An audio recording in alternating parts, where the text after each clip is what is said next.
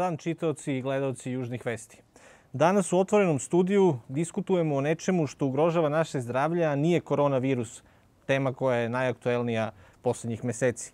Pričat ćemo o zagađenju vazduha, o nečemu što nas što svake godine postane bitno relativno kasno, a uh, uh, da, postane bitno relativno kasno kada štetnih čestica bude već previše u vazduhu koji dišemo. Izvinjam se malo zbog, zbog greške uvodu. O ovom problemu razgovarat ću danas sa mojim gostima, pre svega sa uh, jednom damom u našem društvu, Oliverom Milošević, aktivistkinjom Udruženja Zeleni ključ. Dobar dan i dobrodošli. Uh, gospodinom Slobodanom Milutinovićem, doktorom tehničkih nauka i redovnim profesorom Fakulteta zaštite na radu.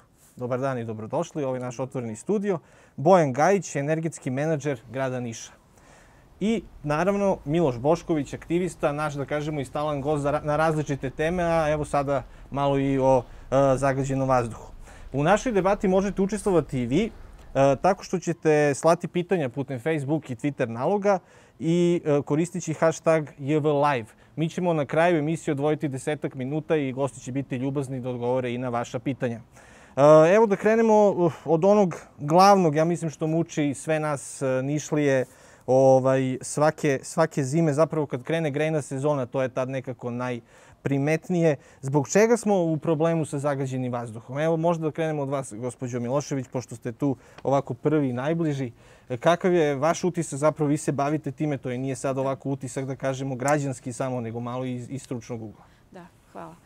Ovaj, hvala na pitanju i na mogućnosti da pričam ovaj, ja iz ugla ovaj, osobe koja se bavi zaštitom životne sredine u civilnom sektoru, iz civilnog sektora i ajde da, da kažem da sam ovaj, ja magistar tehničkih nauka za zaštitu uh mhm. -huh. životne sredine i fakultet završila na Fakultetu zaštite na radu, baš u oblasti zaštite životne sredine, tako da to jeste i životno predeljenje, a i dodatni doprinos kroz civilni sektor za unapređenje i zaštitu životne sredine. Svedoci smo zadnjih par godina da ova tema dobija na aktuelnosti upravo počne bude aktuelna baš u periodu kad kreće zimska grejna sezona. Jeste Miloš Bošković, jedan od vaš, vaših gosti ovaj, danas, jedan od onih koji je glasnogovornik iz, da kažem, te široke grupacije naroda ili javnosti ili građani i građanki. A, ja sa druge strane predstavljam civilni sektor koji nekako jeste spona između građana i građanki i no, donosica odluka i nosioca vlasti. Iz mog ugla i stručnog, ličnog, a i iz ugla organizacija civilnog društva, pre svega ovde na lokalnom nivou, pošto govorimo o, lokalnom problemu koji je i globalni, odnosno nacionalni i šire, mogu da kažem da je problem prisutan. Da nije od juče ili od prošle ili pretprošle godine, da je to nešto što je sada primetnije jer se više o tome priča, što je dobro. Ne treba optuživati trenutno one koji sada vode i upravljaju, vode grad ili, ili državu i upravljaju životnom sredinom. Rade monitoring i sve ono što treba po zakonu. Problem datira od mnogo ranije, ali ne treba i ovaj, skrivati činjenicu da situacija nije dobra i zahtevati prosto objašnjenja i odgovore i odgovornost i od a, trenutnih donosioca odluka i nosioca vlasti. Iz ugla civilnog sektora a, naš stav iz zelenog ključa jeste da ne treba kritikovati bez razloga, ili samo kritikovati, već i predlagati neke konkretnije mere ili davati u da. svojim da. mogućnostima od sebe ono što se da tako je ono ono što se, se može a mi uh, smo kao organizacija neko ko zapaža problem ko uh, ume da, da, da ukaže na problem za širu javnost, da ovaj, informiše javnost, jer to je ono što nam nedostaje u startu i da onda u saradnji sa institucijama, čije je to odgovornost i obaveza, naravno pronalazimo i da. rešenja, ne zapostavljajući i Niš kao univerzitetski grad i sve one institucije koje su već izgrađene i postoje u samom gradu. Jasno. Pričat ćemo i o rešenjima naravno do kraja našeg razgovora. Evo, profesore Milutinoviću, Čuli smo od gospođe Milošević da to nije problem od prošle godine ili od pretprošle, mada nekako se čini da je baš postao aktuelan prošle, pretprošle zime, da tako kažem. Da li se to nešto promenilo u vazduhu, u klimi ili je razlog neki drugi? Pa ja bih rekao pre svega da se nije toliko promenilo ono što je vezano za fizička svojstva. Promenila se malo e, pre svega se promenio način na koji mi to sagledavamo. Mhm. Znači, sada već umemo, imamo mogućnosti da e, to vrlo sofisticirano merimo i da te informacije koje dolaze od tih merenja plasiramo u javnost. Toga nije bilo ranije. I ranije smo imali zagađen vazduh i ranije smo imali probleme sa zagađenjima, ali ih nismo uočavali, bare ih nismo uočavali tako lako kao što to danas možemo. Vi ste svedoci da je recimo prošle zime sama činjenica da je jedna vrlo jednostavna aplikacija koja vuče podatke iz naših mernih stanica bila dostupna svima i da smo svi na taj način mogli da dođemo do podataka bukvalno u realnom vremenu. Ali on, vrlo je važno ovo što ste pitali na početku, šta su to uzroci. Mi svi znamo šta su izvori. Izvori za sve te nedaće, odnosno za zagađen vazduh, su, e, možemo ih svrstati u nekoliko grupacija, pre svega to je industrija, e, u najvećem delu termoenergetika naš vazduh je zagađen zbog toga što e, za proizvodnju energije uglavnom koristimo lignit loše kvaliteta. To je ono što imamo. Znači, nemamo naftu da bismo koristili naftu, nemamo prirodni gas, barem ga nemamo u onoj meri da bismo mogli da ga trošimo onoliko koliko koristimo lignit i to je jedan od razloga. Drugi, drugi uzrok e, je sagorevanje isto tako nekvalitetnih goriva koje koristimo u stanovima, u domaćinstvima za proizvodnju uglavnom toplotne energije. I treći uzrok su neke naše navike koje e, možemo da povežemo sa načinima proizvodnje, sa načinima potrošnje. To što nemamo e, razvijenu e, svest o tome da e, to zagađenje vazduha može da bude nešto što će i tekako štetiti svima nama. E, međutim, ako ovo nazovemo izvorima, vrlo je važno da znamo i uzroke zašto dolazi do svega toga. A uzroci zašto grejemo stanove nekvalitetnim gorivima, zašto ispuštamo e, čestično zagađenje i, i gasovite substance koje zagađuju vazduh, su loše javne politike koje u, u, u društvu u kome živimo. Znači, kada bismo imali e, bolje javne politike, kada bismo mogli da e, na sve to odgovorimo određenim merama i aktivnostima, onda bi verovatno toga zagađenja bilo. Šta to znači javne politike? U kom smislu? E, šta je tu problem? Šta je problem s javnim politikama, kako ste rekli, da, da je to negde razlog za ovo što koristimo, te nekvalitetne e, ogrevno drvo, ugalj i tako dalje. Mislim, znamo da ljudi lože i šta god stignu i plastične flaše i gume i tako dalje. Pa upravo to što ste rekli je jedna od javnih politika koja je loša. Znači, ljudi koriste ono što im je dostupno.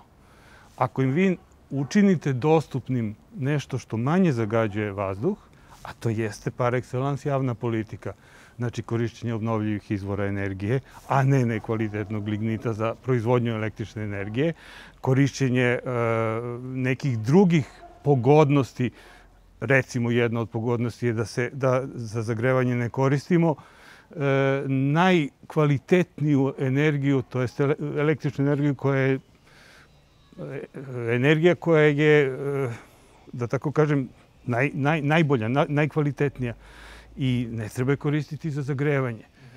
E, javna politika je to što je ta električna energija recimo mnogo dostupnija običnom potrošaču koji se racionalno ponaša. Znači svako od nas se ponaša racionalno i teži da svoje troškove svede na minimum. To je nešto na čemu je zasnovano naše društvo. Jasno. Ako e, nemate politiku javnu politiku koja će omogućiti da neko drugo gorivo ili neki drugi energent bude dostupniji, onda će svako naravno koristiti. Tako da mi imamo danas situaciju da nam je struja za grejanje mnogo jeftiniji način za grevanje stanova nego što je to recimo prirodni gas.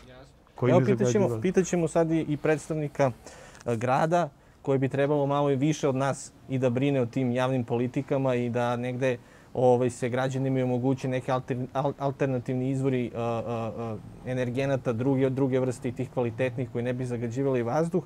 Dakle, energetski menadžer Bojan Gajić. Gospodine Gajiću, kakva je situacija trenutno u Nišu? Znamo da i Toplana ima jedan deo i dalje koji, koji, gde koristi mazut. Dakle, nije sve gas koji bi bio najidealniji tako, za, za kvalitet vazduha. E, imamo druge neke privatne kotlarnice, nekih javnih ustanova, institucija koje su takođe uh, ovaj, e, na, tom, na tom mazutu. Građani u najvećoj meri, oni koji lože privatno dakle, u svojim domovima, koristi takođe drve, drva i ugalj. E, kakva je situacija i šta može tu da se promeni? Prvo da se zahvalim da. na pozivu za učešće u današnjoj emisiji. E, meni je veoma veliko zadovoljstvo da danas u trenutku kada već sigurno mesecima unazad imamo, uh, mislim, prateći naravno ove aplikacije koje je profesor pominjao, imamo uh, zagađenje koje je ispod ovaj, uh, dozvoljenih, uh, odnosno da kažem, u granicama dozvoljenih emisija uh, čestica uh, i kada to sigurno nikoga mnogo ne znamo, kada danas imamo ne znam koliko novo zaraženih od uh, ovaj, COVID-a, uh, ja ipak mislim da je pravo vreme, kao što ste rekli, uh -huh. i mislim možda smo čak i zakasnili. Uvek je u stvari pravo vreme i najidealnije vreme da se odmah na, nakon završetka grejne sezone priča o tome šta treba učiniti za narodnu grejnu sezonu. Mi u ovom trenutku možemo pričati šta je već započeti, šta će se možda uh -huh. uh, eventualno u tom nekom godišnjem ovaj programu uh, završiti do početka grejne sezone. Uh, ja bih samo se u, nakratko ovaj, osvrnuo takođe na, na vaše prehodno pitanje. Uh, prema što vam dam odgovor na, uh -huh. na uh, ovo poslednje. E, takođe i, i moje je mišljenje da smo mi danas u posledici nekih veoma loših e, e, odluka koje su donošene u e, ranijim vremenima i e, te odluke, odluke, odluke koje se odnose na način kako, kako ljudi e, se zagrevaju svoje stanove, kako pripremaju hranu, kako su građani, građani objektu u kojima živimo, koji su veliki potrošači e, toplotne energije e, i svo, svo to vreme je stvorilo ne, e, neke navike koje danas ovaj, na neki način nam dolaze glave, jer te odluke koje su donošene u vreme kada se nije mnogo razmišljalo o tome koliko, će, koliko je u stvari nama energije i koliko resurse dostupno na planeti Zemlji i nama na lokalu. Uh, mi danas teško možemo da, da promenimo naviku, pa evo, evo mi smo danas četiri kosta, nisam siguran, mislim da smo sva četvoro došli autom ovaj, mm. danas, iako mislim mogli smo sigurno da se organizujemo, pa nekako ovaj, da promenimo naviku, mm -hmm. da dođemo nekim drugim načinom ovaj, uh, prelaza. Tako da bez obzira koliko, eto kažem, e, e, smatram da, da smo se ovde skupili neke, ne, skup ljudi koji je svesni od ostalih, pa ipak imamo neke navike koje, od kojih se, se teško ovaj, e, na neki način oslobađamo. Da odgovorim na vaše pitanje, ovaj, grad Niš, a sada i povezao bi na ovu prehodnu, grad Niš trenutno ima po meni vrlo dobre politike usvojene u delu energetike. Ja ću morati da se zadržim na mom uh, E, na mojoj sferi, jer e, u stvari e, ja kao energetski menadžer ja sam zadržan prvenstveno za, za deo energe, energetike na nivou grada i odnosno lokalne energetike. I uh, samim tim uh, moja procena i upoređivanjem politika koje grad Niš ima usvojene na tom polju u odnosu na, na primjer, druge gradove u Srbiji, mi po, na, u tome bih, bih rekao da prednjačimo. Uh, primjena politika je nešto sasvim drugo i primjena politika e, to je nešto gde sigurno uh, ima mesta za, za unapređenje ovaj, trenutnog stanja. Uh, mislim da postoje nekoliko razloga zbog čega je primjena politika, kada pričamo o politikama, znači mi imamo strategije, imamo uh, niz aktivnosti koje su već usvojene, Skupština naša je glasala o tome, znači u prethodnih nekoliko godina imamo uh, uh, akcijni plan održivog razvoja energetike, imamo program zaštite životne sredine, imamo, da kažem, niz uh, strateških dokumenta koji, koji u sebi sadrže, verovali ne, uh, sve moguće aktivnosti koje ste, na koje danas možete da naiđete uh, kao predlog zašto grad ne čini ovo, za, zašto grad ne bi učinio. Mislim, ja nisam još uvek naišao u zadnjih nekih godina, dve dana kada je ovo stvarno postala tema zbog toga što je naravno vidljiva. Sve te e, aktivnosti su negde već popisane i grad se već obavezao da sprovede, da sprovede te aktivnosti. Kada pričamo znači sada no, na delu primjene politika, mislim da, da tu imamo sada problem koji se takođe je vezan za naše navike. To su politike koje svojom primjenom bi značile da, da bi građani morali da odustanu od nekih načina usvojenih već ponašanja i to je onda odluka koja kada dođe, kada bi trebalo da se primeniti na godišnjem nivou, odnosno u sledećem periodu, praktično uglavnom donosioci odluka možda nisu baš spremni da se da, da primene da, da nalože primjenu neke neke aktivnosti koja možda ne bi bila sasvim komfortna za građane. A zbog če, u, u kom smislu komfortna? U finansijskom možda, možda bi građani nešto malo trebali da plaćaju više? Tako je, znači ako bi se na primjer neka taksa uvela ili, ili u tom smislu. Međutim, s druge strane, o, pro, veliki deo tih aktivnosti su promotivne, i uh, osim toga zahtevaju uh, dobar, uh, dobru količinu novca koja je neophodno da kažem da se odvoji iz gradskog budžeta ili već i onda se takođe sada postavlja pitanje donošenja odluka, taj budžet ima neki određenu količinu novca. Mislim, ja sad da. govorim, da. Dobro, govorim iz, iz, iz, iz pozicije nekog ko nije donosio odluka. Mm. Ja sam kao energetski menadžer zadužen za iniciranje i za sprovođenje da. mera, međutim donošenje da bome da, da. donošenje odluka kada se donese odluka, moja obaveza da to sprovedemo u dela. Tako da svake godine kada se donosi odluka uh, i kada se pripreme predlozi šta treba u budžetu predvideti, donosioci odluka ja mislim da imaju dilemu da li primeniti nešto što možda uh, bi bilo opravdano ili će primeniti neku meru koja je možda popularnija za građane, pa na primjer ja mislim da sa 500 miliona evra u Srbiji, kada bi, se, kada bi sada krenuli uh, sa 500 miliona evra da, da, uh, da primenjujemo, da sprovodimo neke uh, projekte ekološke, energetske efikasnosti i adaptacije na klimatske promene, toliko toga bi moglo da se uradi, da je to prosto neverovatno. Mislim, na primjer, grad bi, Niš bi mogao da bude obučen, postrojenje za prerodu voda, atmosferske kanalizacije, E, znači, milion stvari bi moglo da kažem, Gradiš bi bio bukvalno više ne, e, i bi, bi toliko bio uh, usavršen, međutim, uh, neka je popularnija mera, možda da svakom uh,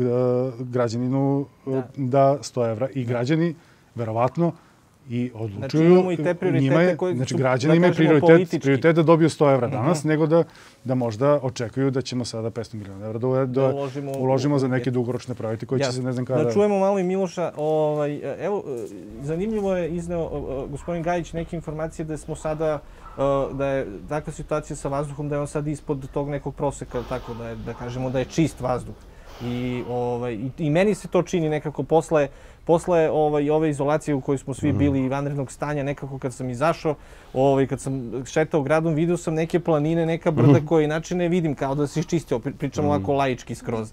Da, da, skroz. A ti Miloše si neko ko prati ovaj, stalno o, statistiku i gleda koliko je, kolika je zagađenost vazduha i neko nas uvek prvi informišeš na, na društvenim mm. mrežama o toj situaciji. Da li si upoznat kakva je sada situacija i, i, i da, kakav je tvoj utisak generalno sad o, ovaj, o, o trenutnom kvalitetu vazduha? Samo sam bacao letimičan pogled tu i tamo ponekad um, na nekim sajtovima koji očitavaju vrednost, odnosno prenose i čini mi se da nisam baš pa, pažljivo pratio, ali čini mi se da nismo izlazili van zelene zone, znači mhm. sve je bilo u okvirima uh, prihvatljivog. Uh, što se tiče ovoga, sad sam razmišljao ko je došao kolima, ja sam bio rešen da dođem biciklom sada uh mhm. -huh. i na kraju su me porodične obaveze naterale da ipak upalim auto. Ali spreman sam bio, zaista. Da. Ja sam teški što se tiče, dakle, kvalitet, taj kvalitet vazduha u ovom trenutku nam govori, po mom mišljenju, opet, ja sam ovde like, znači više kao neki aktivista, da ono, ono o čemu neki ljudi pričaju da je glavni izvor zagađenja, glavni izvor da su automobili, da to možda ipak nije istina. Jesu oni za, mm za, zagađivači, ali izgleda postoji neki mnogo veći zagađivač. A, inače, a, razmišljao sam sad na ovu temu, znači pripremajući se za emisiju i što se tiče generalno vazduha, moj utisak je da je generalno dakle, svest o kvalitetu vazduha izuzetno niska, niko ne smatra da je to neka bitna tema i da je to bilo kakav problem, delom zato što je to to, to toliko dugo postoji kod nas da ljudi nekako su se saživeli sa tim i često sam gledao komentare u onim uh, uh, prilozima o kvalitetu vazduha u Nišu kada ljudi kažu od uvek je tako. Mhm. Nije, pa od uvek je tako, mislim, nije to nikakva razlika, to se ni, nikad nije menjalo. Jednostavno, ljudi onda nekako ne vide to kao problem, a moj utisak je da mi generalno nemamo nikakav odnos i neko poštovanje prema, prema čistom vazduhu, mislim, generalno i životnoj sredini. I sad neću da, da, da zalazim, da idem u digresiju, ali i imamo problema i sa zabranama pušenja, i ćevabđinice koje se dime konstantno, koji su takođe, mislim, niko ne vidi to kao problem. Mhm. -huh. Znači, ovo je jedan dimnjak koji je na visini tipa 2-3 metra i odmena tipa na 2-3 metra od neke terase ili tako nešto. I niko ne vidi da je to problematično za nekog, da su nekom ugrožena neka prava na disanje, najosnovnije i tako. Tako da... Uh, Ali mislim... dolazimo nekada do situacije da, da to zavisi sve od nas, je li tako? Od čoveka pa, na kraju kraja. Jeste, jeste, zavisi od nas, ali nekako mislim da, da, bismo, da bismo nekako krenuli više time da se bavimo, to mora da se nametne a, kao neka od tema koje su bitne. Mm -hmm. I moj utisak je da političari uporno odbijaju da to nametnu kao temu, da jednostavno pričaju o tome, nekako ne, ne smatruju da je to bitno. E, mi živimo u zemlji gde svi gledaju tog jednog čoveka, mislim neću sad idem u te dnevno političke e, teme i pitanja, ali svi gledaju tog jednog čoveka na vrhu i sad ja kada razmišljam oko praktično kako da mi zavrtimo tu temu, kako da se to postavi kao nešto što je bitno, e, mi moramo tog jednog čoveka da čujemo da je to bitno. Ali, A on neće to, on neće to da kaže imali smo situaciju da je taj jedan čovek, da kažemo, predsjednik Aleksandar Tako Vučić, je. ovaj, u novembru i decembru kad je bila velika zagađenost vazduha, rekao da je to zbog dobrog standarda, da ljudi ovaj, mnogo voze kola. Jest. Pa eto, mislim, imali smo tu izjavu baš kad je bila tema aktuelna I, ovaj, zagađenja da, i kvaliteta vazduha. Jeste, dakle on je, on je da. opet relativizovao, relativizovao sve to, A pa, sad razmišljamo o trenutnoj situaciji kako svi ovde mi nosimo maske. Uh -huh. I mi nosimo maske zato što nam je neko sa televizije konstantno ponavljao da moraju da se nose maske čak i na otvorenom ako smo previše blizu jedni drugima i e, došlo je do toga, ja mislim da sad postoji otprilike jedan konsenzus manje više u društvu, da ako ste u zatvorenom prostoru, recimo u prodavnici, da zaista nije u redu da ne nosite masku. I gledat ćete neko koji nosi masku onako malo sa, mislim, nekim nepoštovanjem i smatrat ćete da on nije korektan prema ostatku društva. To je potrebno da imamo sa vazduhom na neki mhm. način. Da, potrebno jasno. je da budemo svesni toga. Dakle, kada neko kaže grem se na ugalj, u redu greš se na ugalj, ali će svi da pomisle to nije baš korektno. A trenutno mi nismo na tom nivou. Da, I to mi, je smo, mi smo toliko odgovorni bili da smo procenili da smo i sada preblizu, pa smo da. i svi sa maskama. Iako smo napolje. Ovaj, iako smo, iako smo otvoreni. Evo, profesor imao nešto, nadam se kratko, pa da... Vrlo, vrlo kratko. Da. E, nešto što svakako, e, barem u jednom delu objašnjava ovo o čemu Miloš govorio. Vazduh je javno dobro. I vazduh mora da se posmatra kao javno dobro. Međutim, vazduh je neiscrpno javno dobro. Javno dobro koje nema svoju cenu. Znači, mi ne plaćamo vazduh koji dišemo, tako? tako? E sad, iz, tog, iz te činjenice koja je bila, e, koja, koja može da bude karakteristika do nekih 70-ih, 80-ih godina, do onog buma industrijskog, e, energetskog koji nam je doneo velika zagađenja, to je moglo da važi tada. Sada već imamo te eksterne efekte privrede, ja ne bih ovde sve sveo na građane mm -hmm. i na mhm. njihovo zagrevanje prostorija, mm -hmm. mnogo su veće zagađenja iz privrednih subjekata, iz fabrika, iz termoenergetskih postrojenja. Znači, od tada mi imamo te eksterne efekte koje privreda i proizvodnja nekih proizvoda ne ukalkuliše u cenu tih proizvoda, nego je plaćamo svi mi. Time što imamo mnogo veću, veći morbiditet, mnogo veći broj bolesnih mhm. zbog zagađenja vazduha. Kada bismo pravili sada, kada bismo doveli ovde mhm. analizu, videli bismo da ta, da, da broj astmatičnih pacijenata, broj pacijenata sa respiratornim problemima od tada naglo raste. Znači, to su troškovi po zdravstveni sistem, to su troškovi po izgubljene radne dane, to su troškovi koje neko mora da plati. Da, da. Ali mi u Nišu nemamo, evo može i gospođa Milošević da se uključi, ovaj, nemamo neko ta, ne, neke tako velike industrijske zagađivače, na primjer kao što ima u Boru, u Smederevu, Železara, e, Rudnici. A i svi oni rade da. tokom cele godine. Da. Evo, kakav je vaš utisak? Da li, da li bi to isto moglo? Nismo pomenuli, mislim, niko od nas, da klimatske promene uh, uh, utiču na zagađenje vazduha i da to jeste uzročno posledično, jedno, jedno s drugim ide nekako zajedno, jer ne treba izuzeti činjenicu da je Niš smešten u kotlini. Ne treba, treba imati u vidu ružu vetrova, rasprostiranje čestica kroz grad, povećanje broja stanovnika, mnogo veći broj automobila, mnogo više objekata za stanovanje, individualnih i uopšte i kolektivnog stanovanja, lošu energetsku efikasnost, možda u poslednjih par godina od kad je uveden energetski pasoš, pa je to obaveza investitora da brinu i o energetskoj mhm. efikasnosti koja opet ima utice, odnosno posledice na zagađenje vazduha, odnosno na veću količinu e, trošenja energenata za zagrevanje za energetske potrebe tog objekta, odnosno ljudi. E, sve to ne treba zanemariti, sam, sam geografski položaj i klimatske promene se svakako dešavaju sa nama ili bez nas. Jasno, ono kako se mi ponašamo odgovorno ili manje odgovorno daje rezultate koje imamo sada. Ako gledamo Niš, jeste steko se utisak da zbog korone i zbog toga što se manje krećemo vozilima i saobraćaj malo smireni mhm. bio u proteklih par meseci, ali to ja mislim samo subjektivni osjećaj, mhm. jeste i to jedan od e, uticaja i subjektivni, a inače činjenični, ali e, prosto smo izašli iz perioda grejne sezone. Tako. E, mislim, atmosfera je takva kakva jeste u ovo doba godine. Tako da i to treba uzeti u obzir. Nama ovde, da ne znam, ere gosti, ovaj, treba neko i sa prirodno-matematičkog fakulteta mm. možda koji će pričati o prostiranju, fizič, fizičkom kretanju čestica kroz mm. grad ovakav mm. kakav jeste, kroz te gradske kanjone, kroz ulice, kroz uh, vetar koji ide sa severa, kroz Ićevačku klisuru, pa je vinik najčistiji uvek i uvek najsvežije. Mm -hmm. I, mislim, imate osjećaj da je vazduh čistiji i bolji tamo i stvarno je tako. I a, ja ću se samo nadovezati na ovu vašu priču da je zbog toga nama potreba jedan dobar monitoring i praćenje kvaliteta vazduha da bismo na osnovu a, velikog broja izmerenih a, veličina svakodnevno u, i u realnom vremenu imamo samo tri merne stanice koje automatski mere. Uh -huh često i one nisu u dobrom stanju. Da, I preko zime jedno i ne radi često, pa i ne mere. Ne mere sve čestice koje su da. vrlo značajne, to su one PM ili PM, kako, ih, kako ko. Da ovaj zove, koje u stvari jesu najznačajnije kao negativnu, negativnu utiču na, na, na zdravlje ljudi.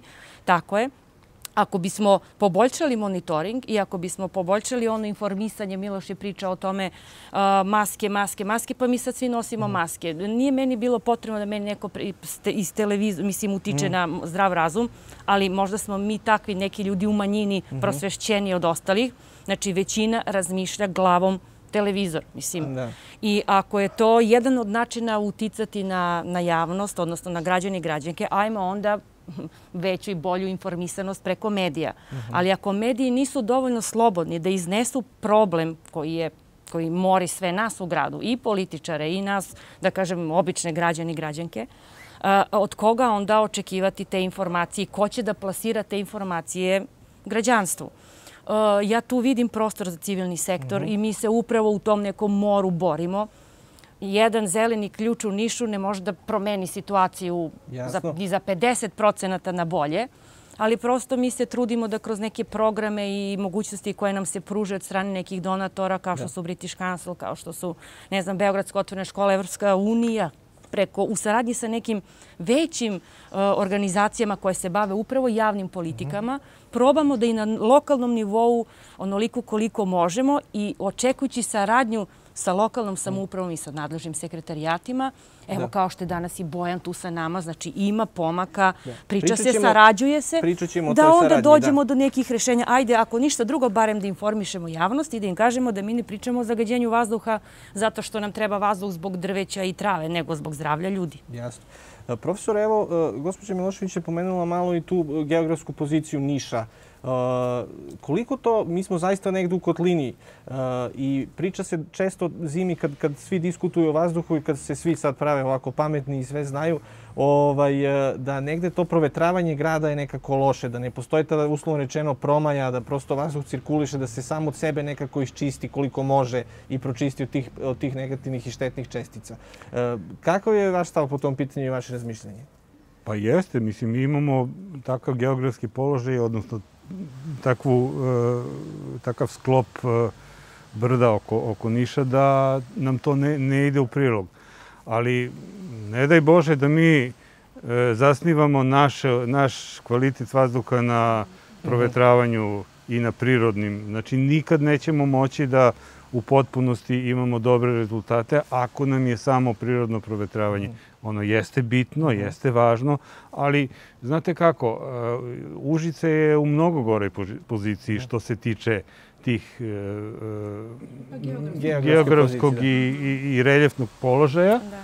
pa su oni na neki način e, izbili praktično u prvi plan što se tiče opština u Srbiji sa, sa politikama koje su sproveli da te, tu, taj svoj manjak e, u pogledu reljefa nadomeste nekim drugim akcijama. Znači, ne možemo se oslanjati na, samo na, na, na, na, prirodne karakteristike. Mi ovde sada u, u, najvećem delu smo govorili upravo o tom čestičnom zagađenju, -huh. koje je vezano za, uglavnom za sagorevanje, to su te PM10 i PM2,5 čestice, međutim, ne treba zaboraviti i, i gasove koji zagađuju naš, našu atmosferu, a u, u, za, što se toga tiče, e, gasovi ne poznaju granice. Znači, mm -hmm. to što se dešava u Boru, osetit ćemo i mi u Nišu, mm -hmm. osetit će i oni u Bugarskoj. Znači, ima i toga, ali tako? Ima, naravno, sve se, to zagađenje se prenosi strujanjima vazduha. Ako ga ima mnogo, ono će svakako najviše uticati na ljude gde se nalazi taj ziđin u Boru, ali da. će uticati i takako i na nas. Znači, e, definitivno e, vetar može da nam pomogne, ali ne smemo se oslanjati samo na vetar. Jasno. A, evo ja ću još malo da se držim oko tih prirodnih nekih prečišćevača, pa da se dotaknemo sa gospodinom Gajićem iz zelenila u gradu, jer ono iz biologije smo učili da nam kiselnik daju biljke. Ovaj, e, da li ga ima dovoljno u Nišu? Pa sad da me već, m, moj, sad mogu samo moj lični utisak mhm. -huh. da podelim sa vama, jer je to stvarno oblast koju kojom se ne bavim i ne mhm. -huh. mogu do, dovoljno da... Moj utisak je naravno da nema dovoljno. Uh -huh. A, moj utisak je da kada, pošto dosta pešačim, da kad krenem bilo gde na goju stranu da, da krenem, da ja nemam a, koridor gde ću se sećati pri, a, prijatno i da budem zaštićen od sunca tokom leta, a možda od nekih padavina kada, kada, kada je neko loše vreme ili od naleta vetra. Tako da, eto, to je neki da. moj utisak koji sada... A možemo tu negde, kad smo malo prepričali, sad opet da se vratimo na kontekst javnih politika i tako dalje, predloga koji idu ka izvršnoj vlasti, možda da neki od predloga bude i to. I da li je već u nekom pa, planu... Naravno da jeste. Uh mhm. -huh. Znači, opet, e, mislim da, evo ja, Uh, mogu da, da kažem da verovatno ćemo izaći sa još nekoliko predloga da. i do kraja emisije. Uh, E, vrlo teško će biti da ćemo e, izaći s nekim predlogom koji već nije negde mm -hmm. naveden. Ovaj, tako da i predlog i ovaj koji je profesor pominjao za Užice, taj predlog još u 2014. mislim da stoje u nekim našim uh, planovima, pa mislim nije još uvek kod nas ovaj, implementiran. Mislim, verovatno je i čak i pre Užica. A ko je to konkretan predlog, ako možemo malo se pozabavimo njime to iz Užica? Pa sad nisam siguran, ali pretpostavljam da, da, da je profesor mislio, imao im dva programa. Jedan program je subvencije fasada za stambene zgrade, mhm. za uh, rekonstrukciju fasada stambenih zgrada, a drugi program je uh, subvencija za zamenu kotlova uh -huh. za koji, koji, su, koji, koriste, da kažem, ili fosilna goriva, pa subvencija da bi zamenili kotlovima na gas ili na pelet. Tako da, mislim, ne samo to. Mi smo otišli takođe i korak dalje, već od kako sam, da kažem, ja u ovoj poziciji, svake godine je to baš bukvalno naveden kao jedan od predloga uvek za, za sledeću budžetsku sezonu da se pokrene kod nas. Što ne znači, mislim, moram da, da takođe podvučem da sad ovde se ne stekne utisak da, da, da ne postoji da je donosioć odluka da su, da kažem, loši u odnosu, znači daleko od toga. Ja moram dve, tri stvari samo da napomenem. Jedna stvar je da kada smo imali tamo tokom zime sastanke ovog radnog tima za, proti, mhm. za, protiv zagađenja vazduha. Mi smo dobili informacije uh, godišnje praćenja uh, ovaj, uh, PM čestice kvaliteta mhm. vazduha iz godine u godinu i na osnovu toga se jasno vide krive koje ka, kazuju da u stvari je svake godine niža koncentracija PM čestica u gradu Nišu. Uh -huh. i to kada se uporedi e, tokom zimskih meseci je znatno i da iz godine godine, e, e, mislim, veće, veće je opadanje koncentracije a tokom letnjih meseci ima, e, postoji blagi pad. Ma mislim sada iz toga mogu naravno različiti zaključiti da se izvuku. Ali ta kriva je u padu, ako sam vas dobro razumio, je, na godišnjem nivou. Na godišnjem nivou, da. da. Tako da mislim, ipak od tih svih politika, e, one možda se nisu u potpunosti primenjuju, uh mhm. -huh. ali veliki broj stvari koje tamo stoje se ipak primenjuju. Pa mislim, od za, zadnjih 15-20 godina vi ste imali konverziju velikih uh, kotlarnica ovde u Nišu, znači počeš od najveće kotlarnice Krivog Vira, pa Juga, pa onda veliki projekat konverzije e, kotlarnice u kliničkom centru koja je prešla na gas.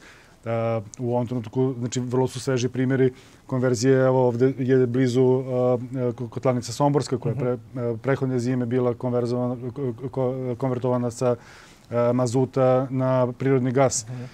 Očekuje se već do kraja godine, mislim, očekivanje su jedno u situaciji koja, u kojoj se nalazimo sada, posebno vezano za COVID, e, je nešto što je mnoge e, planove dinamičke pomerilo na neki mhm. način. Ali ipak su očekivanje u ovom trenutku da će se do kraja godine još dve velike kotlarnice ugasiti. E, kotlarnica na, medicinskom fakultetu koja zagreva tamo studentski dom i medicinski fakultet, to je trenutno veoma velika, mislim da ima oko 2 megavata koja se koristi ugalj, će se ugasiti i povezati se objekti na sistem daljinskog grejanja. Zatim, to plana bi trebalo e, već u završnoj fazi ugovore e, na potpisivanju e, za preuzimanje kotlarnice u kliničkom centru od strane da, Toplane.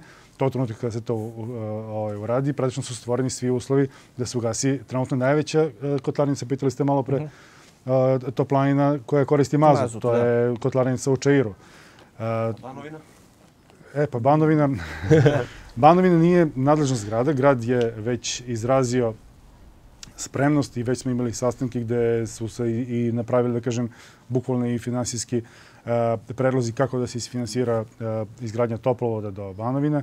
Međutim, uh, organizovali smo uh, sastanak sa rukovodstvom uh, našeg rektorata koje jednostavno u ovom trenutku nisu, nije spremno da se da, da iskoristi povoljnost i prelaska uh, na sistem daljinskog grejanja, čime bi se naravno ugasila u ovom trenutku najveća kotlarnica na ugalj da, u, ne, u centru Niša. Na ugalj, da. da. I to znači, ne, em što je u centru Niša, em što je praktično najveća da. na teritoriji Niša, verovatno. Ja. Mi smo pre, pre uh, ove krize imali u planu takođe da već tokom leta uh, izvršimo i konsultacije i sa predstavnicima ovaj, uh, još jedne velike, sa predstavnicima uh, uh, univerziteta odnosno Pravnog ekonomskog fakulteta i takođe studentskog doma i železnički koji koriste tamo mazut za zagrevanje svojih prostorija. Međutim, sve je ovo pomerilo sada i mislim da, da sigurno ćemo promašiti ovu grejnu sezonu, ali eto da kažem da ostavimo neki mhm. od tih većih projekata i za, Jasno. i za buduće. Jasno. Pre, da, da, da, može. Čisto da se nadovežem na ovu priču, da je očigledno ovo je jedan multidisciplinarni problem i naravno jeste i on zahteva i taj neki multidisciplinarni pristup i da i tekako ovde treba uključiti urbaniste. Niko od nas ne može uh, uh, da tvrdi da ima drveća više ili manje ili da baš treba tu, a vidimo da je uh, prosto hit da se sadi drveće. I niko od nas verovatno neće reći da to nije dobro, ali zašto baš tu? Znači, uh -huh. treba opet, e, to su te neke javne politike, timovi koji zajednički treba malo više i bolje ovaj, e, da rade i ovo da e, opada koncentracija ovih čestica. Vrlo zanimljiv podatak, ja nisam, nisam znao ja, da je to tako. Ja mislim da se mnogi će se složiti sa činjenicom, uh -huh. ali ispred toga treba pitati da li je monitoring i da li su lokacije u redu i mm -hmm. da li mi imamo dobar monitoring Gde sa te se mere, tri... dakle, čestice i kvalitet vazduha? Znači, grad se proširio, mm -hmm. uh, merna mesta koja radi uh, Institut za javno zdravlje grada Niša za potrebe grada po zakonu mm -hmm. su tamo gde su i nekada bile, pa ja mislim zadnjih 20 godina, nek mi ne zamere ako grešim, ali gotovo da je veći broj njih tamo gde je nekad bio jer se sećam još na fakultetu smo te lokacije i dan danas su iste. A ove tri merne automatske stanice koje smo dobili, do, mislim 2015. ili možda koju godinu ranije, tu su gde su da. i ne kažem da možda... Ali sve više sad i nekih, evo mi imamo ovde, e, kupili smo merač kvaliteta vazduha prošle zime i merimo, ovaj, imamo svoj. Miloše, ti imaš svoj. Ovaj, kod tebe uvek zimi je baš loša situacija. pa dobro, tu sigurno postoji različite metodologije merenja, ja nisam upoznat detaljno sa tim. Dakle, ja merim u datoj sekundi zagađenje, mm -hmm. koje će možda već za 10-15 minuta malo da se poboljša i bit će bolji kvalitet vazduha. Možda će samo vetar da, da prođe kroz moju ulicu i bit će bolja situacija. Vaši uređaji su konstantno učitavali izuzetno visoke vrednosti. Mm -hmm. Uvek najviše je bilo uh, kod uređaja, kod južnih vesti. Da. Što se tiče tih očitavanja, recimo, uh, vi ste spomenuli, gospodine Gajiću, određene izveštaje koji se baziraju, prepostavljam, na očitavanjima mernih stanica. Ево, јас имам ситуација пре колку две години кога сам бил народни посланик да сам у то време приметио да, да е квалитет ваздуха у сред зиме у Нишу сасвим окей. Okay. Mm -hmm. И онда сам кренуo да окрећем бројеве телефони, на крају сам дошол до агенција за заштиту животне средине, дакле тоа е различит од Министарството за заштиту животне средине. Da, da, jasno, ok, ok. A u svakom slučaju, jer sam sad shvatio da su, to je sad da su oni zaduženi za merne stanice, pitao sam o čemu se radi, lako sam stigao do direktora, odmah su me preusmerili na ovaj gospodina koji, koji je tu glavni. I on mi je rekao, a, mi smo od, poslali a, nekoliko delova ili senzora za merenje PM čestica sa te merne stanice u Nišu, poslali smo na održavanje u Beč. Uh -huh. I sad šta se dešava? Kada, kada, te, kada ti senzori nisu tu, te vrednosti se ne očitavaju, očitavaju se samo ostale vrednosti.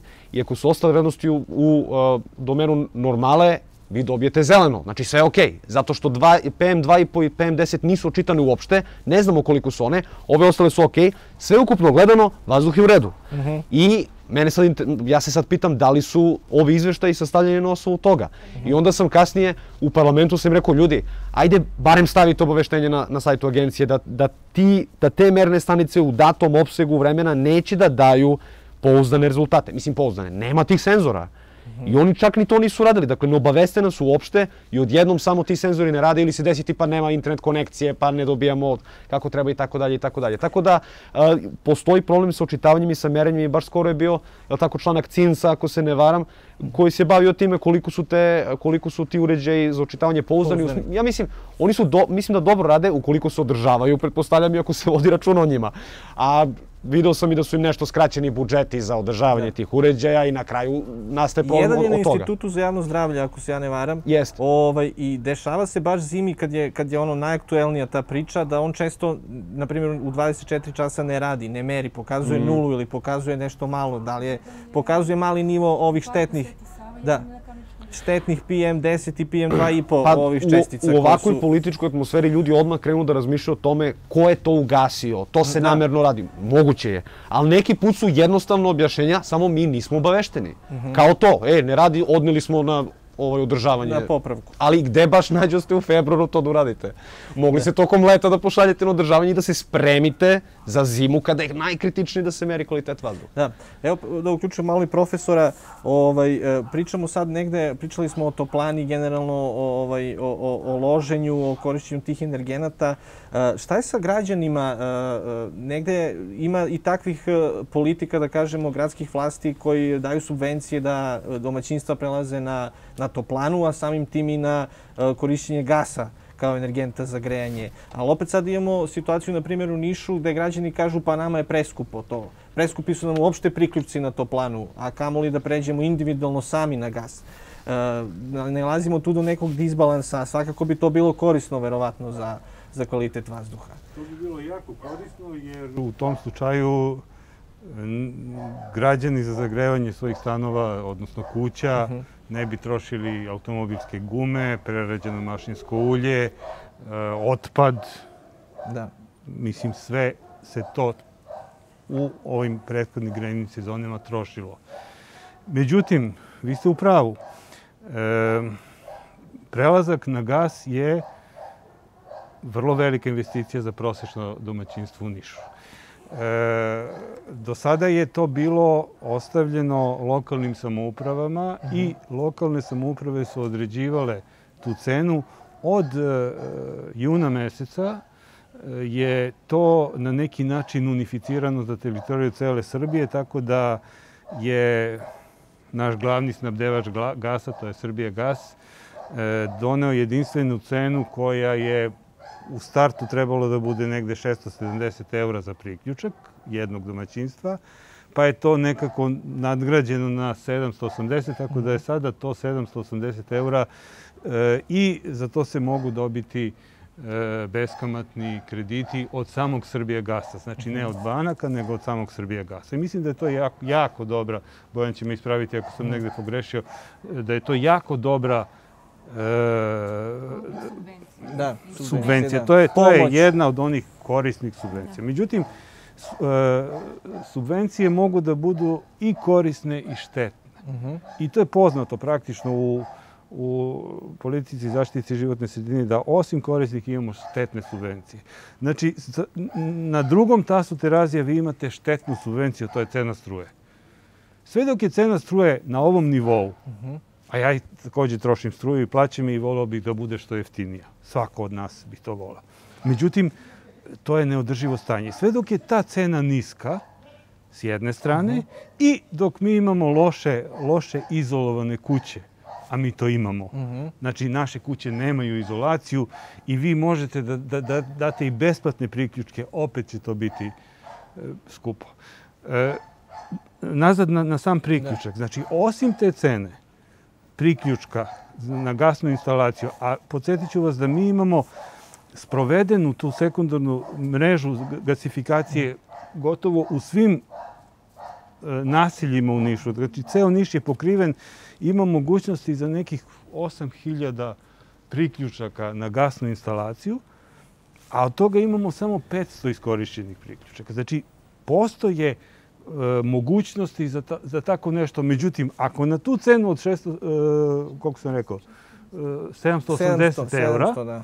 vi dodate sada cenu e, same instalacije, koja se kreće negde u rangu od 1300, 1500, 1800 čak e, eura po, jednom, po jednoj kući. Znači, to je jednokratna cena, ali opet nije mala.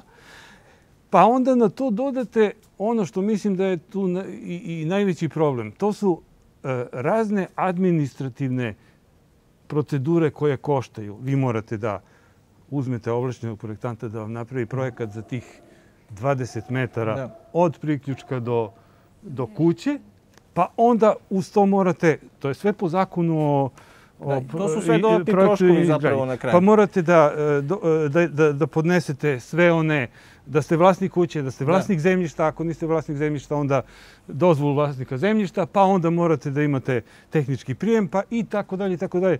To se napravi jedna vrlo dugačka lista koja čoveku odmah u startu kaže Mam Kupi batali, drva i ne ma sekiraj batali, se." kupi drva i, ili gori maši, prerađeno mašinsko ulje.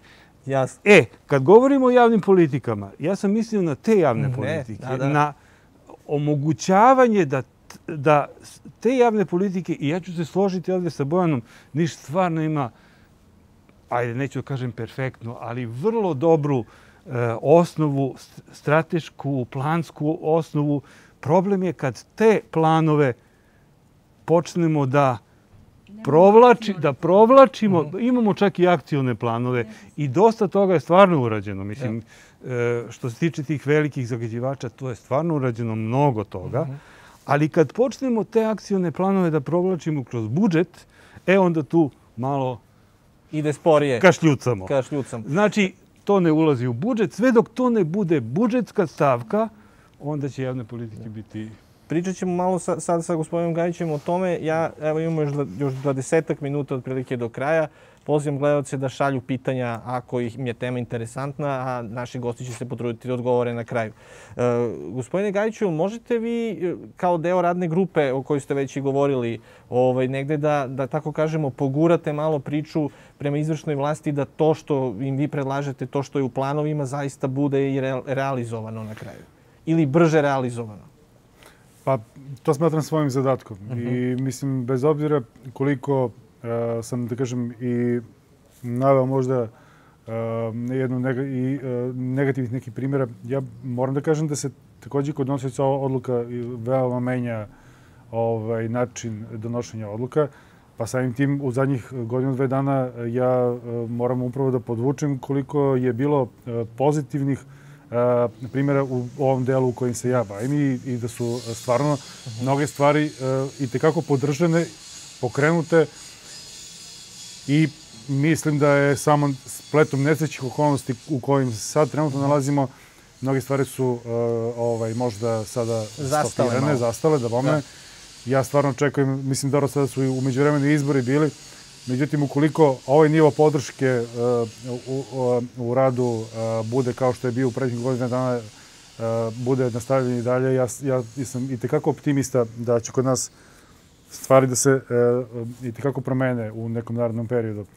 A, tako da, a, naravno, sebe vidim upravo u toj ulozi mm. da stvarno, da stvarno a, zlopotrebim na neki način, po znacima da. navoda, a, svoju poziciju u toj a, strukturi. Da kažemo i da, gledacima, vi ste da upravo... na, toj, na toj poziciji već jednu te godinu dana, je li tako? Da, sad je malo više godinu dana, da. ali je ono drugi deo mog mandata prečno obeležen sasvim drugim, sasvim drugim ovaj, damama koronom, tako da E, ne mogu da budem baš zadovoljan koliko sam i imao prostora za, za sve to. Na primjer, ja, e, znate kako, u predlogu za, za budžet za ovu godinu negde predlozi koje sam ja bio prikupio su bili iz, iznosili nekih 100 miliona dinara. Mm -hmm. Od toga je bilo odobrano nekih 40-50 miliona dinara nakon nekog onih skrećivanja, skrećivanja budžeta i svega. Mm -hmm. Da je bilo 100, 100 miliona bilo bi savršeno. 50-45 miliona je Ja nisam zadovoljan, ali ja. E, verujem da, da malo gradova mogu, bi mogli da se da se pohvale da tako da kažem 50% od nečega što je priloženo. Međutim, mm -hmm. ove godine će se rezati, ja mislim, samo 5-6 miliona od svih tih, jer je zbog da. upravo situacije, situacije, sve je, sve je skinuto sa, sa tih ovaj, budžetskih pozicija. Ja. Pa eto, bar, bar ćemo da učinimo veliko stvar, ja mislim, i da se iz budžeta isfinansira priključenje medicinskog fakulteta, da. što uopšte nije mala stvar.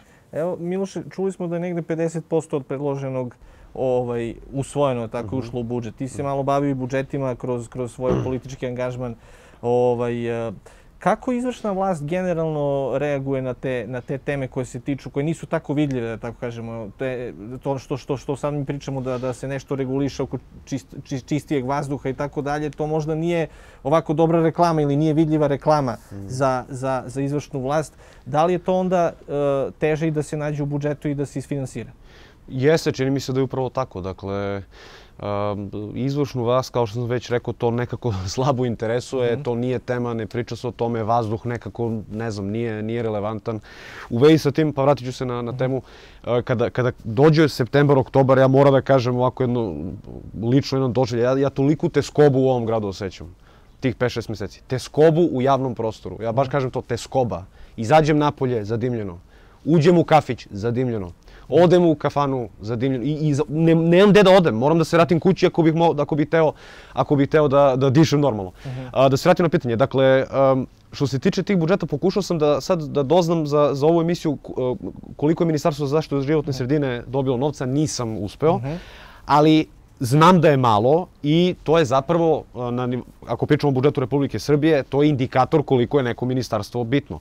Tako da vi ako imate u ministarstvu za zaštitu životne sredine ljude koji su željni da nešto menjaju, hoće, pokušavaju, njima ništa, ništa, ne mogu ništa da urade ako im je, ako im je relativno mali, mali budžet. I sećam se izjave gospodina Trivana koji je ministar za zaštitu životne sredine bio do mhm. sada ili bit će i dalje, koji pitali su ga u jednoj emisiji kao šta je problem? Za, zašto se ništa ne dešava? I on je otprilike nešto slično rekao, nema interesovanja.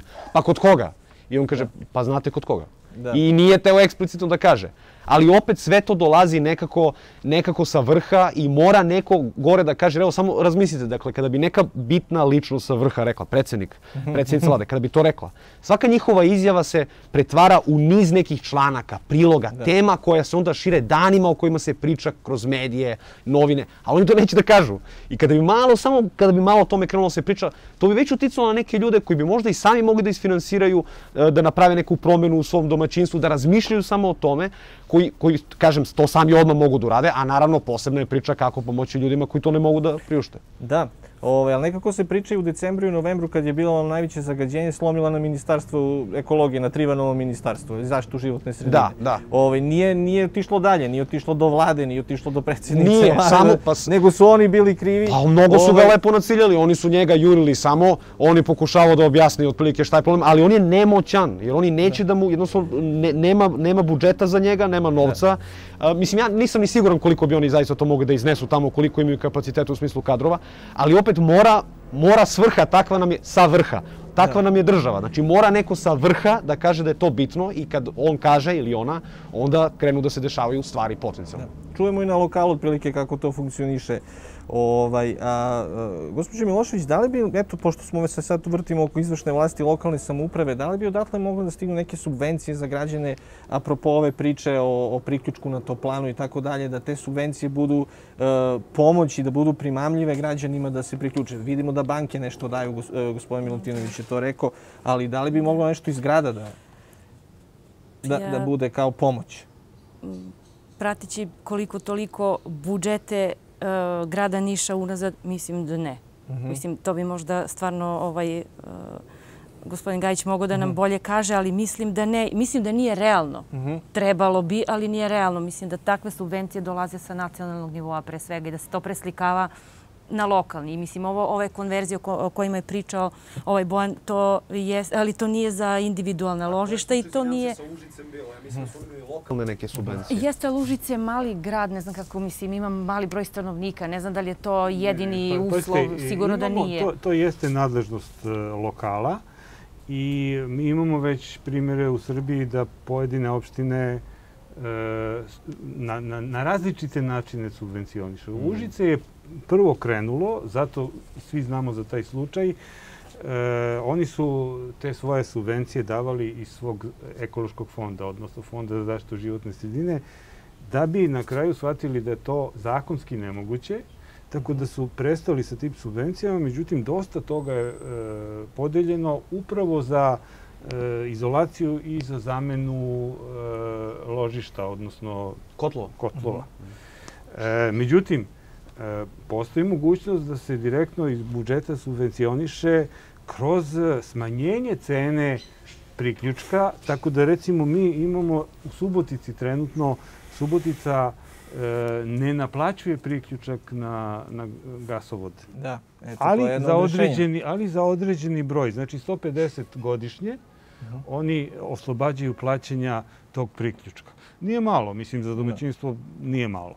E, Šabac takođe ima e, besplatne priključke na, gasovodnu mrežu. Tako da e, opštine nalaze neke, neki prostor vi znate i svedoci smo da smo mi visoko centralizovana država i da je lokalu ostavljen vrlo mali manevarski prostor, ali opštine, deo opština, ne sve, ali deo opština je vrlo proaktivan. Ja tu svrstavam i Nišku opštinu. Mm. Bez obzira što mi takve subvencije nemamo, ne zaboravite da je Niš ogroman grad u odnosu na te manje opštine i da bi mu trebalo mnogo više, ali postoji taj manevarski prostor gde mogu da se nađu te e, subvencije, odnosno stimulansi za e, smanjenje, za, za energetsku efikasnost, pa i za smanjenje gasova, za smanjenje zagađenja vazduha, Jasne. odnosno ispuštanja svega u vazduh. Jasne. I mi kao država, i to ne treba zaboraviti, znači,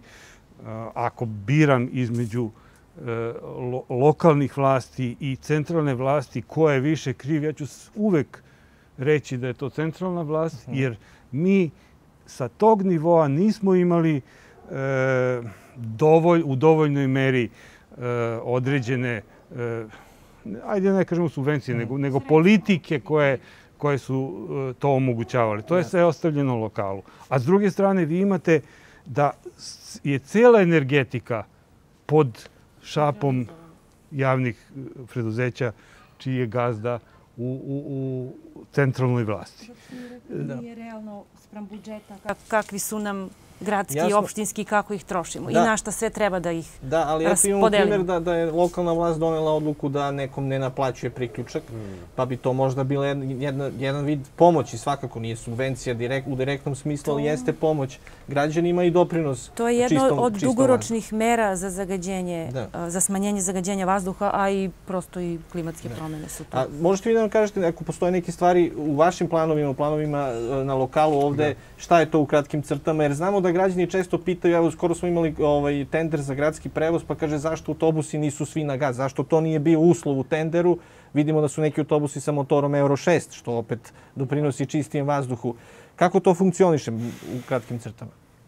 Uh, ajde ovako, uh, što se, mislim nekoliko stvari sam, sam hteo sada da se mhm. nadovežem i na osnovu prehodne priče. E, pričamo prvo ajde, samo oko ovih subvencija. Uh -huh. Mislim da jeste moguće u ovom trenutku iz, e, iz e, budžeta lokalnih samouprava subvencionisati. Ovaj primjer na koji se pozvao profesor je u stvari bio, bio problem u Šapcu gde su subvencionisali upravo izolaciju stambenih zgrada i onda u jednom trenutku DRI proglasio to, da kažem da je to mhm. nije u skladu sa, sa već, ne znam... Trošenjem budžeta da, i... Da. Da, u, u Užicu ja mislim da još uvek funkcioniše ovo nek, na, na isti način koji je bilo. Ali ne fonda, oni su to prebacili na budžet. Znači, u početku... E, moguće, da, zašto, evo sad su prebacili na budžet, da, to je moguće, da. Da, to je moguće. Uh, u svakom slučaju, oni primenjuju drugi jedan mehanizam i imaju uh, propisane već niz uh, prethodnih pravnih akata koji, koje je propisalo ministarstvo kao predlog, u stvari ministarstva građanarstva čini mi se da je to njihov bio predlog i otprilike to je nešto što mi imamo pripremljeno i za Niš. Tako da mislim, u ovom trenutku ja sam samo, mogu da kažem, optimista da će sledeće godine nešto slično da. biti ovde što se toga tiče. Međutim, uh, upravo, uh, da kažem, uh, dobre politike koje Niš ima usvojene i, rekao bih, možda i prepoznatljiva zgrada Niša uh mhm. -huh. na, na, na teritoriji Srbije, uh, za posljedicu ima da uh, dosta ovih donatorskih i međunarodnih organizacija i i finansijske institucije u stvari upravo prepozna Niš kao partnera za mnoge e, projekte, pa jedan od projekata koje ću sad ovde najaviti jeste upravo e, projekat koji, se, koji bi se realizovati uz podršku Evropske banke za obnovu i razvoj. Već je potpisan, e, potpisano mladnato pismo od strane grada Niša. Očekuje se povratno potpisivanje sa njihove strane koji podrazumevalo u stvari da sledeće godine se započne sa rekonstrukcijom stambenih zgrada. Uh -huh U pitanju je znači kredit gde bi se grad zadužio sa neki možda u ovom trenutku je to procent nekih 5 miliona evra i otprilike se gađa da neki 40 do 50 zgrada koje su priključene na sistem daljinskog grejanja mogu da se investiraju kroz jedan mehanizam ESCO finansiranja, gde bi se pojavila znači, gradska toplana kao ta ESCO kompanija i, i praktično investirala u sve mere za, postavljanje izolacije, zamenu stolarije, određene mere na, na unutrašnjim grejnim instalacijama, onda bi građani kroz 10-12 godina mogli da otplaćuju. I otprilike je cilj da se to prvenstveno ponudi onim zgradama koji imaju najveće, najveću potrošnju. Zašto na daljinsku grejanju? Zato što se to meri, zato što ljudi znaju tačno koliko troše i onda mogu da kažu razlika računa koji je bio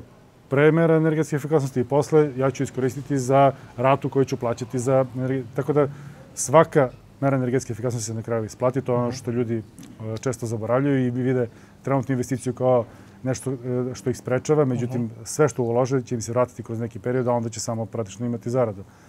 Uh, uh, ja sam pomenuo već ove dve stvari, dve, dva projekta koji, uh, koji su vezani za toplanu, međutim, pomenut ću takođe da već dve godine za redom USAID donira po otprilike 100.000, prethodne godine je bilo 130.000 dolara, čini mi se, za takođe mere unapređenja energetske efikasnosti na toplotnim izvorima. A, takođe u pripremi je... A, za Nišku Za Niš, da, za Nišku toplanu. Da, upravo, upravo je posledica, znači USAID ne radi sa mnogo lokalnih samouprava u Srbiji, kao što ni EBRD ne radi. Uh, I tako da uh, Niste veoma, dobro pozicionirao. Veoma, veoma da. je pozitivno upravo to, da kažem, a to jeste i veliko i, i da kažem, um, uh, za to je na neki način e, e, e, zadužen, da kažem, praktično je i gradsko rukovodstvo Lokalna zaslužno, da. zaslužno da. za, za to što, što praktično je stvorena jedna dobra klima ovde na tom polju. Ja, ono što sad očekujemo u, u narodnom periodu jeste da se praktično kroz USAID-u podršku u najavi otvaranja još neke veće ovaj, donatorske uh, da kažem, mogućnosti. Ja sam samo da se vratim na, na ovaj program subven, rekonstrukcije stambenim zgradama.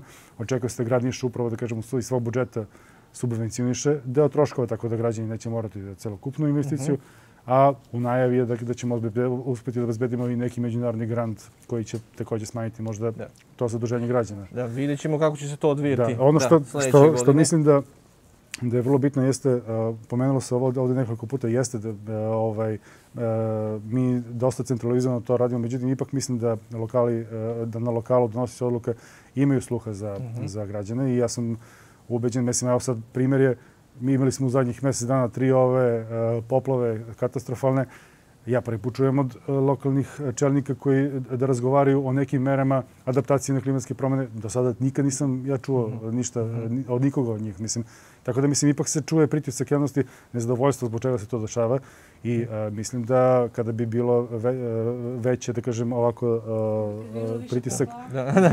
Pa ne, nije dobro nije, da se nešto desi to. pa tek onda da, da pričamo Nije dobro to, da. ali, ali budemo svesni da, da, da, u, da u Srbiji, mislim, neke inicijative kao što je, ne znam, Greta Thunberg, ovaj, Friday for Future ili Extinction Rebellion u, u Velikoj Britaniji, teško, uh, to je pokušavano ovde, kažem, međutim, vrlo je mali odziv sličnih, na sličnim inicijativama.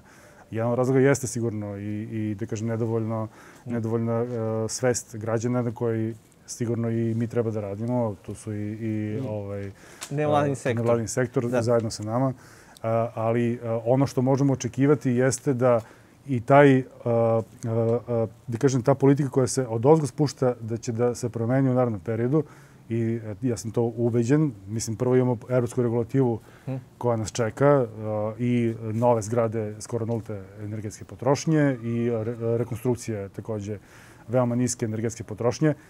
Sada imamo uh, trenutno je aktuelan Green Deal koji praktično je predvideo uh, čini mi se uh, skoro trilijardu uh, evra u ne znam kom periodu za praktično dostizanje uh, uh, cilja karbonske neutralnosti evropskog kontinenta. Mislim, mi u ovom trenutku, do 2050. Mi u ovom trenutku možda nismo te Evropske unije, ali do 2050 očekujem da, ćemo, da, da je mala mogućnost da nećemo biti. Pa, vidjet ćemo, nemojte. Isto a, ta, a ta obaveza će biti, ta obaveza će biti na nama i uh, sigurno će i sredstva koje, ona, koje, koje, će, koje su nam i sad na neki način dostupne biti još dostupnije. Da. Uh, sam ovaj program sada koji, koji, koji je usvojen za, uh, za mere da kažem, posle covid i praktično oporavka nakon COVID-a, uslovljen je uh, i veliki deo je upravo se odnosi na green recovery, -huh. uh, znači na, zeleno, na zeleni oporavak,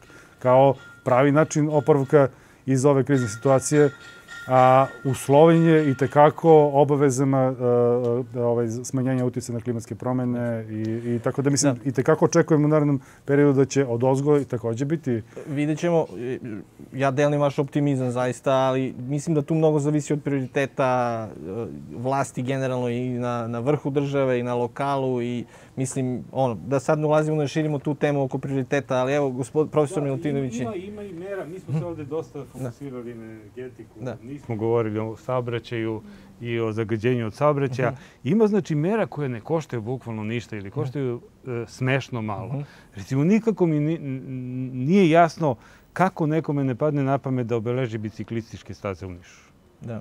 To ne košta previše. A se sećate da su ranije bile uh, na bulevaru 12. februara, na primjer, bilo sa strane samo yes. jedna bela linija gde, yes. gde je bilo za bicikliste. Napravljen I to je u jednom trenutku nestalo. Bulevar da. Nikole Tesla je napravljen i nema, I, nema... A to može da se uradi bez nekih velikih uh, E, evo, pomenuli ste, ja isto vozim biciklu i, i, ja volim da... Ja vozim biciklu, nemam dede... A stvarno, mislim, nekoliko puta je teo da me očisti autobus. E, ali to sad povlači druge neke probleme. Pitanje je haosa u saobraćaju, nepropisnog parkiranja. Prvi će odmah krenuti tu vozači automobila da parkiraju samo, samo za čas, tako se, evo, da. parkiram samo na 3 sekunde, 5 sekunde i tako dalje.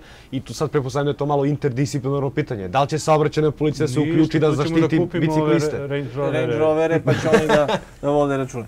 Pošto smo probili termine, ove, evo da uđemo sad u ovaj poslednji krug.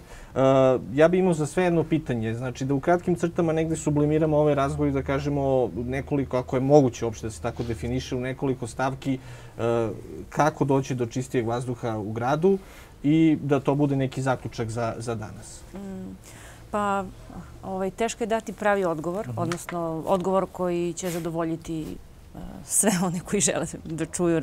Različito ćemo vjerojatno svi reći. Uh, Ovaj, iz mog ugla gledano, Zeleni ključ će, e, će dalje da se bavi problemom zagađenja vazduha i e, pokretaće inicijative i pokretaće bolju saradnju koju već imamo uspostavljenu i sa univerzitetom i sa sekretarijatom za zaštitu životne sredine. Evo sad i Bojan tu, čak i on pomenu civilni sektor. Drago mi da to čujem, tako i treba. Mislim, neću kažem da mora, ali tako treba.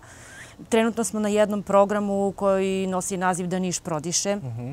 I ono što mi sad e, radimo i što možemo, jer je i nas pojava COVID-a jel te malo poremetila u realizaciji planiranih aktivnosti jeste da smo recimo iskoristili medije, televiziju Zona, pa je mesec dana išao jedan spot koji govori o zagađenju vazduha i šta to ovaj, zagađenje vazduha uz, um, prouzrokuje kod ljudi.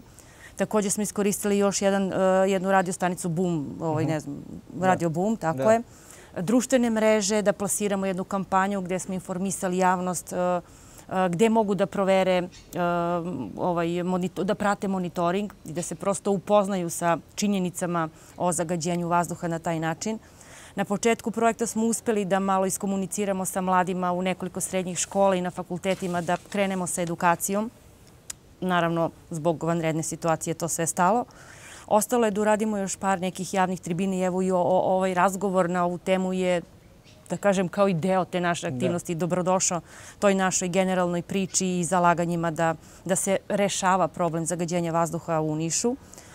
mogu da kažem da smo bili aktivni ovaj, zadnjih mesec dana i delili brošure na kojima smo mhm. kao tim Zeleni ključ zajedno uradili sa nekim našim profesorima, konsultovali i dostupne, dostupnu literaturu ovaj, i delili brošure upravo tamo gde smo uh, primetili da su građani bili aktivni. Jer u ovoj našoj priči je građanski aktivizam takođe i vrlo značajna stvar. Da u stvari probudimo ovaj, svest građana i ne samo to, nego i njihovu odgovornost i, i aktivizam da se i sami pokrenu, makar tražeći odgovore na neka pitanja koja ih brinu i da prosto shvatimo da COVID postoji, da zagađenje vazduha postoji, da sve to utiče na zdravlje ljudi. Ako hoćemo da budemo zdravi, treba nam i zdravija životna sredina, samim tim i zdravi život i zdravlje. Delili smo brošure, u njima je onako opisano koje su to čestice, koji gasovi, kako to utiče na, na zdravlje i moram da kažem da je mnogo malo činjeničnih podataka dostupnih u ovaj, on, onima koji žele da ih provere, a to je veza između zagađenja vazduha i zdravlja ljudi. I tu je prosto jedan apel, mislim imali smo i par tribina ranije i proteklih godina kroz razgovore sa profesorima, sa stručnom javnošću. Ovaj, mnogo malo ima tih podataka, a e, ne da izgleda, nego utice su stvarno veliki. I kod dece i kod hroničnih e, bolesnika i uopšte za, za čitavu ljudsku populaciju. Hvala. Profesor Milutinoviću, kako do, do, do čistijeg vazduha u kratkim crtama, ako je uopšte to moguće u kratkim crtama sad? Pa ne, mi smo dosta da. govorili da. o tome, znači ovo je bilo ekstenzivno u kratkim crtama. E, nastavak svih ovih aktivnosti koje su započete, jer stvarno je dosta toga započeto, e, implementacija, to je ono što nam nedostaje. Znači, ajmo da sprovedemo 30% od toga što smo zacrtali, ali da to tih 30% bude. Znači, e, uvek je bolje koristiti tu taktiku low fruit, znači ono što je dostupno. Ono što je dostupno uradite, ono što ne košta mnogo, kad kažem uradite, mislim na sve nas, ne samo na, na, na gradsku vlast. Ovo nije samo njihov problem, ovo je problem svih nas. E, I naravno, e, ne treba zanemarivati ni taj odnos sa e, ministarstvima, sa centralnim vlastima. Mnogo poluga je kod njih, uh -huh. a ne na lokalu. Ali ovo što je na lokalu treba iskoristiti do maksimuma. Ekonomski instrumenti, odnosno ekonomske aktivnosti koje su zasnovane na ekonomiji su nešto što donosi rezultate. Jasne. Znači, ako to nije ekonomski opravdano, e, možemo mi govoriti o javnoj svesti koliko hoćemo, međutim, sve dok to ne bude e, ekonomski opravdano, to nikome neće biti zanimljivo. Hvala. Gospodine Gajiću. S ovim bi se potpuno složio. Ja mislim da e, naši građani upravo najviše razumiju ekonomski, ne samo građani, nego znači institucije i svi oni koji su akteri u celoj toj priči i da ukoliko je nešto ekonomski opravdano i kako lakše e, donose odluke da se to implementira. E, mislim da način e, da kažem, obračunavanja tih ekonomskih parametra jeste nešto što je možda uh, u, u, naznačio u nekom razgovoru danas profesor, jeste da treba znati koliko košta i uh, neki tamo ovaj, slučaj oboljenja i koliko uh, košta i komfor i koliko, znači sve to košta, često se ne uzima u obzir kada se uzimaju ekonomske parametri i onda ta kalkulacija izgleda mnogo drugačije. Mislim da, da e, ključ jeste takođe u primjeni svega što, se, što smo do sada, da kažem, strateški na neki način se opredelili da implementiramo. Mislim da bi donosio odluke lakše, donali odluke takođe ukoliko se uspostavi jedna komunikacija i poverenje između onih koji su na vlasti i onih koji su ovaj, sa, i građana mhm. -huh. i mislim da, da to takođe nedostaje, to samo može kroz otvoreni dijalog. Zato i mislim da ja sam uvek i zalažem se za to, zbog toga sam i ovde kod vas. Mislim, ov, mi ovde danas smo obezbedili taj neki praktično možda triple helix. Da. Uh, nedostaje nam možda neko iz iz privrede da bi ovaj potpuno pokrili celokupno, ovaj, to je već pomenuo i danas profesor više poteda industrija ovde nedostaje, uh mhm. -huh. ali mi smo danas kao malo nismo, nismo toliko opterećeni njihovim uh, uh, doprinosom. U tom smeru uh, ja bih hteo takođe da najavim samo uh, jedan uh mhm. -huh. veliki projekat. Mi smo od Evropske komisije dobili zadatak praktično da sprovedemo preko Horizon 2020 programa uh, uh, uh, projekat Sutrašnjica, uh -huh. koji tu morao, koji bi trebalo da grad Niš postane jedan od šest gradova sutrašnjice u Evropi. Uh, imamo znači pet partnera, vodeći partner Energy Cities i otprilike cilj tog projekta je da se uradi mapa, energetske, uh, mapa puta energetske tranzicije do 2050. godine, očekujući da tu mapu puta zajedno sa građanima uh, pripremimo, znači utvrdit ćemo zajedničke ciljeve, ja bi se zalagao da to budu karbon neutralni ciljevi, da li će građani to, to misliti, mnogi danas misle da prirodni gas je prihvatljiv sa te, sa te strane. S moje strane, on nije karbon neutralan da. i treba samo kao prirodno rešenje razmišljati o tome. Međutim, naravno, možda građani drugačije misle, pa ćemo u Ali dijalogu... Ali važno da ćete sa njima to zajednički... U dijalogu ćemo da bomo da, da, zajedno doći zaključaka. Tranzicijni tim upravo će ovih dana biti formiran. Očekujemo da a, u tom tranzicijnom timu a, će operativno funkcionisati. Očekujemo, a, ja nisam sa profesorom to nije, nije raspravljao, ali očekujem mm. da u nekom trenutku u širem timu nam se on priključi u radu. A, a takođe ovaj Olivera je na spisku aktera, mhm. stakeholdera koji su bi trebalo da budu uključeni. Ja sam na spisku, naravno, nisam, nisam, ja do sada nisam sa gospodinom Boškovićem mm -hmm. imao prilike da se upoznam, danas je prvi put, ali je na tom nekom mom spisku takođe i on naveden kao neko ko je aktivan u ovom smeru, pa ćemo da vidimo možda postoji mogućnosti da se takođe on uključi. Da. Mislim da je to pravi put da, da, da i napravimo tu vezu. Tako. Hvala vam. Miloše, možeš kratko samo da zaključimo.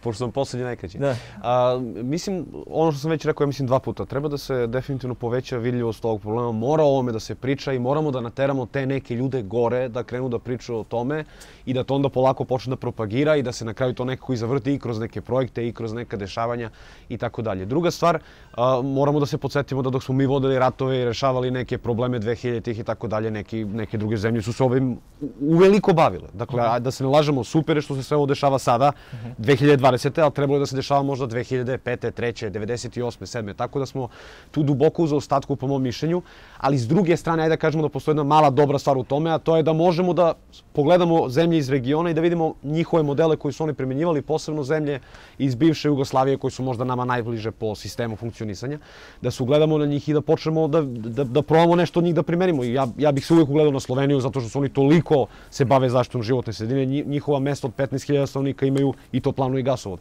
I za kraj, građani treba da budu svesni, ako plastično da objasnim, da uh, vjerojatno im nije normalno da izgrade kuću i da nemaju vodovod. Mm -hmm. I da mhm. imaju rezervoar i da im neko u kamionu dovozi vodu i tu sipa, pa oni onda prečišćavaju tu vodu i koriste za vodu, tako za, za potrošnju. Isto tako, ja mislim da nije baš prihvatljivo da grad veličine Niša, ovakav grad, da bude normalno da sad ti dovezeš kamionom drva, mislim ja razumem da su ljudi u problemu, ali moramo da razmišljamo da to treba da se nekako reši iza ugalj. Uh mhm. -huh. Pa ti dovezu drva, pa ti iseku, pa one sad mora da se osuše i da to bude najnormalniji način grejanja. Znači mi moramo da prevaziđemo to i kada se grade i nova naselja i kuće, kao što se pitaš da li imaš struju i da li imaš vodu, treba da se pitaš da li imaš toplovod ili gasovod ili neki vid grejanja, možda nešto treće, možda pumpe, toplotne ili tako dalje. Dakle, moramo da budemo svesni, e, samo zato što smo rođeni u gradu koji je takav bio, to ne znači da je to normalno. I moramo uvijek da gledamo s polja, da vidimo šta to druge zemlje rade i drugi gradovi i Užice i da vidimo kako mi možemo da, da to promenimo. Dakle, to su stvari koje mora da se napređuju. Jasno, ovaj, evo ja sad baš proveravam da li su građani nešto pitali iz režije, bi trebalo da mi jave, ne javljaju ništa, Sve im da nema pitanja. ovaj, tako. Tako da, evo kažu, nema ništa. Ovaj, tako da, hvala vam na gostovanju. Nadam se da, da smo ovaj, imali svoju publiku i da je nekog zaista ovaj, zainteresovala ova tema, iako smo, kao što sam i u najavi rekao, u nekim drugim temama sad koje su nas okupirale, nažalost. Hvala još jednom i nadam se da ćemo se vidjeti još, još koji put i još pričati, pričati o ovome. E, vi ste gledali ovu otvorenu, prvu otvorenu debatu ovde u dvorištu malo uz komšije i ovaj, uz maske i sve. Nadam se da smo vam bili zanimljivi i vidimo se, vidimo se nekom sledećom prilikom. Prijetno.